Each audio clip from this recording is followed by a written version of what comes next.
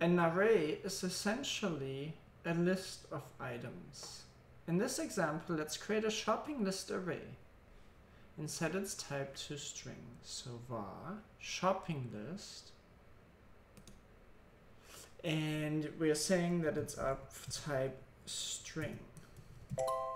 Please note that the syntax for an array is to use the square bracket. You open it, you write the type, and you close it. So what this means is that we have a shopping list array that can contain strings. So you can put strings inside it.